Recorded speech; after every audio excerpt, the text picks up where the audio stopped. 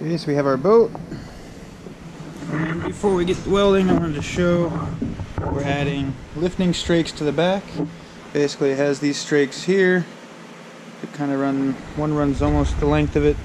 The other one's about six feet. Putting four inch flat bar on there to add some surface area. And then we'll bend that down. And the problem that's going to solve is that the back of this boat kind of stays in the water on plane. So adding these should pick the back of the boat up a little bit better and allow us to use less power while on plane.